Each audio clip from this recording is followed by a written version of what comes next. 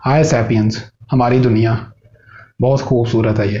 लेकिन इसको एक बीमारी लग गई है, जो इसको खाती जा रही है अंदर ही अंदर, दीमक की तरह। क्या है ये बीमारी? कहाँ से आई? तो आए आज मेरे साथ, पता करते हैं।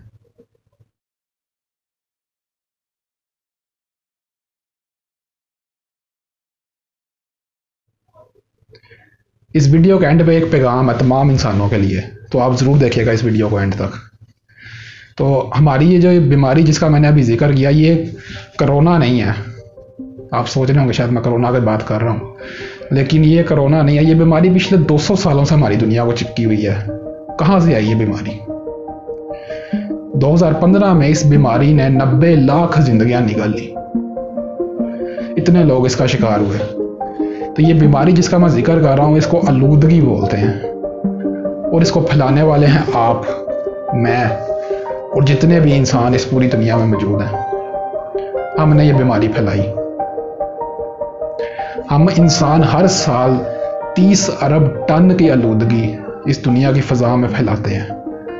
गाड़ियों से निकलने वाला धुआँ, फैक्ट्रियों से निकलने वाला धुआँ, बिजली घरों में पैदा होने वाला धुआँ की शक्ल में और प्लास्टिक की शक्ल में। इतनी आलूदगी फैलाते हैं। ये पहाड़ देखें ज़रा इस वक्त। ये तकरीबन तीस अरब टन का पहाड़ है। इतनी आलूदगी हम लोग हर साल इस दुनिया के फ़ज़ा में फेंकते हैं। 2014 की एक अकवा मुतहदा की तरफ़ से जारी करदा रिपोर्ट, जिसका मैंने डिस्क्रिप्शन में लिंक डाला हुआ है। इस रिपोर्ट में एक इंकशाफ किया गया कि अगर हम लोग इसी डायरेक्शन में चलते रहे तो इस सदी के आखिर तक, यानी कि 2090 पचानवे तक, हमारी दुनिया का टेम्परेचर इतना बढ़ जाएगा और इतनी गर्मी आ जाएगी कि यहाँ पर सारी बर्फ़ पिघल जाएगी। जिसका नतीजा बहुत बड़े बड़े सैलाब और तबाही और सुनामी की शक्ल में आएगा। कब हम लोग रुकेंगे इन सब चीज़ों से? धरती माँ बोलते हैं ना हम लोग इस दुनिया को। क्यों बोलते हैं ये? क्योंकि हमारा ये जो जिसम है, इसकी मट्टी से बने हुए हैं। एक दिन मरकर हमने वापस इसी मट्टी में मिल जाना है, अपनी माँ के पास, वापस चले जाना है। तो मैं आपसे एक सवाल पूछता हूँ, क्या कोई अपनी माँ के साथ ऐसा सलूक करता है, जैसा हम लोग कर रहे हैं? जब इस साल के शुरू में कोरोना वायरस आया तो उसकी वजह से सारे इंसान अपने घरों में बंद हो गए, जिसका नतीजा ये निकला कि हमारी दुनिया में 15 से 20 फ़ीसद आलूदगी कम हो गई। क्या हमें यह कुदरत इशारा करने की कोशिश कर रही है कि हम इस दुनिया का असल वायरस है? आखिर कब तक हम लोग बोझ डाले रखेंगे इस दुनिया पे? इसका क्या कोई हल नहीं है? क्या ये आलूदगी के छाए हुए काले बादलों में हमारे लिए कोई उम्मीद की किरण नहीं है? कि हमारी किस्मत में तबाह होना लिखा हुआ है। एक मुहावरा है जिस मुल्क में मैं रहता हूँ, यहाँ पे एक बोला जाता है, जहाँ चाह वहाँ राह। तो यानी कि हल है बिल्कुल हाँ है हल। मौजूद है इसका हल। आप हैं इसका हल, मैं हूँ इसका हल। हम सब इंसान इसका हल है, क्योंकि हमने ये शुरू किया था। और हम ही इसी का हल है। अपनी ज़िंदगी में हम लोग छोटी छोटी तब्दीलियाँ लाकर ये तबाही को रोक सकते हैं हम लोग। अभी भी देर नहीं हुई हमारे। छोटी छोटी तब्दीलियाँ हैं, जैसे कि पहली तब्दीली। आप तेल का इस्तेमाल कम से कम करें। गाड़ियाँ और मोटरसाइकिलें वो लें जिसमें माइलेज बहुत ज़्यादा हो। तेल का इस्तेमाल कम करें और जगह आपको ज़्यादा देकर जाएँ। घरों से फजूल बाहर ना निकलें ताकि पेट्रोल इस्तेमाल कम हो।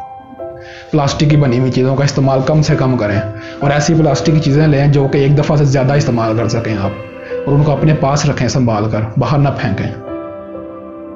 और तीसरी सबसे अहम चीज़ जिसका मैंने ये पैगाम, जिसकी वीडियो के शुरू में मैंने ज़िक्र किया था कि आप सब्ज़ा लगाएँ दरख्तों की शक्ल में, पौधों की शक्ल में। आप एक नई रस्म शुरू करें कि आप अपने हर साल गिरा वाले दिन अपनी लोकल पौधों की नर्सरियों में जाएँ। उनसे जाके वो पौधे खरीदें, जो कि बाहर के माहौल में ज़्यादा देर तक ज़िंदा रह सकते हैं और दरख्त बनने की काबिलियत रखते हैं। आप उनसे अपनी सालगिरह वाले दिन पौधे खरीदें, जितने खरीद सकते हैं आप, जितनी आपकी ताकत है। और आप अपने वो पौधे उन शहर के हिस्सों में लेकर जाएँ, जहाँ पे दरख्त और पौधे कम हैं, और वहाँ पे अथॉरिटीज़ की इजाज़त से वो पौधे लगाएँ। अपने बच्चों को ये रस्म सिखा कर जाएँ कि आप अपनी सालगिरह वाले दिन लोगों से उम्मीद ना लगाएँ कि वो आपको कोई तोहफा देंगे। बल्कि आप इस दुनिया को एक तोहफा देकर जाएँ, दरख्तों और पौधों की शक्ल में। आप इस दुनिया से चले जाएँगे, लेकिन आपके ये लगाए हुए पौधे पीछे रह जाएँगे, जो एक दिन ज़रूर दरख्त बनेंगे, और एक ताज़ा और खुली फिजा बिखेरते होंगे आपकी याद में। ज़रूर करें ये काम आप। मैं भी करूँगा ये काम। तो फैसला आपका है कि आप किस तरह की दुनिया छोड़ के जाना चाहते हैं अपने बच्चों के लिए? एक सरसब्ज जन्नत जैसी, एक बंजर रेगिस्तान जैसा दोजख। फैसला आपका है, हम सब का। तो आप मेरी इस वीडियो को शेयर करें, जितना हो सकता है कि लोगों के साथ इसको शेयर करें, और उनको भी बताएँ कैसा करने का।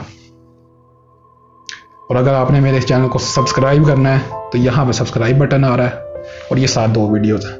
ये भी ज़रूर देखिएगा, बहुत कुछ नया सीखने को मिलेगा आपको। और आप अपना ख्याल रखिएगा इस उम्मीद में कि हम लोग अगली वीडियो में मिलेंगे दोबारा।